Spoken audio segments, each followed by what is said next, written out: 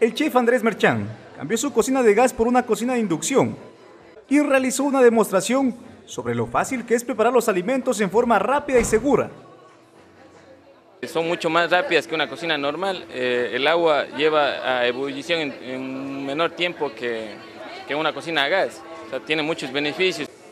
Este es el trabajo de demostración que ha emprendido la empresa eléctrica Centro Sur desde hace más de un año para que la ciudadanía conozca uno de los beneficios del cambio en la matriz energética, que será posible con la entrada en funcionamiento de los ocho proyectos hidroeléctricos que se construyen en el país.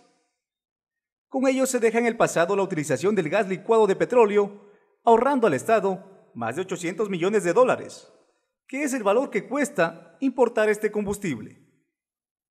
Proveernos de la energía suficiente sin necesidad de, de contar con la importación de gas licuado de petróleo en un primer momento y luego también de derivados de petróleo.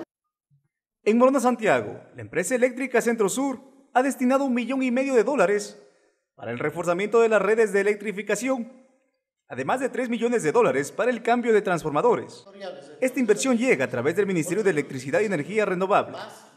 La capacidad existente en las redes, en los sistemas nuestros, permitan que la gran mayoría de clientes residenciales de la provincia, ojalá todos ellos, puedan acceder y puedan eh, con calidad utilizar sus equipos de inducción. El trabajo de socialización ha logrado que 700 personas ya estén inscritas en el programa emblemático de eficiencia energética para cocción por inducción y 107 personas ya cuentan con el incentivo tarifario.